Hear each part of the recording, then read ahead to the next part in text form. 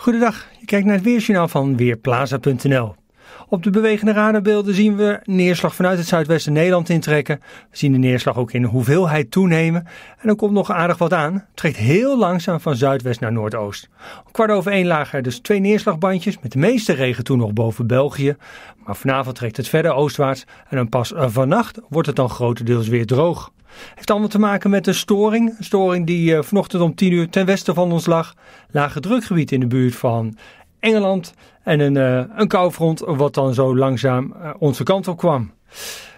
En dat gaan we vaker zien de komende dagen, want het wordt allemaal wat wisselvalliger. Het fraaie zomerweer wat we een groot deel van juli hebben gehad, met slechts een enkel dipje, dat lijkt in augustus toch niet echt lekker door te zetten. De komende dagen zijn het vooral lage drukgebieden in de buurt van de Britse eilanden die het weer bij ons domineren.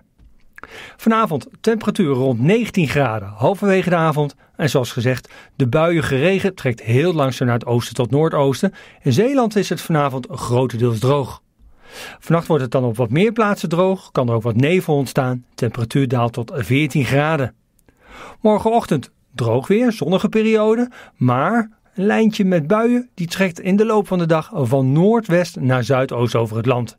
Het is een convergentielijn zoals we dat noemen. Voor de lijn waait de wind uit het zuiden tot zuidwesten. En na passage van die convergentielijn draait de wind naar west tot noordwest. Dan wordt het in de kustprovincies prima weer. Met flinke zonnige perioden blijft het ook droog. En die smalle lijn met forse stapelwolken en buien, waarbij het vanmiddag ook, of beter gezegd morgenmiddag kan onweren, trekt dan langzaam naar het oosten tot zuidoosten.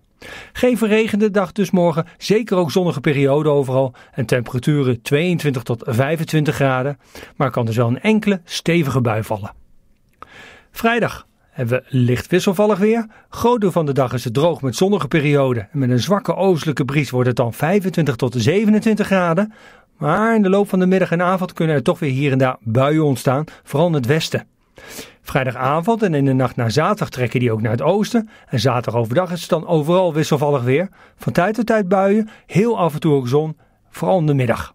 Temperaturen zijn nog enigszins zomers, 21 tot 25 graden.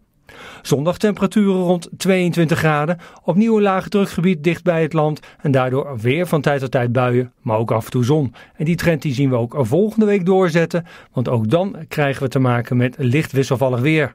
Daarbij gaat de temperatuur wat naar beneden. We zien dat de temperatuur bij de rode lijn, dat is de maximumtemperatuur, rond 20 graden komt te liggen. En de nachtwaarden liggen tussen de 10 en de 15 graden. Wisselvallig weer dus de komende dagen. We zullen het ermee moeten doen. We hebben al een hele fraaie juli maand gehad. En misschien herstelt het wel in de loop van volgende week. Ik ben Michiel Severin van Weerplaza.nl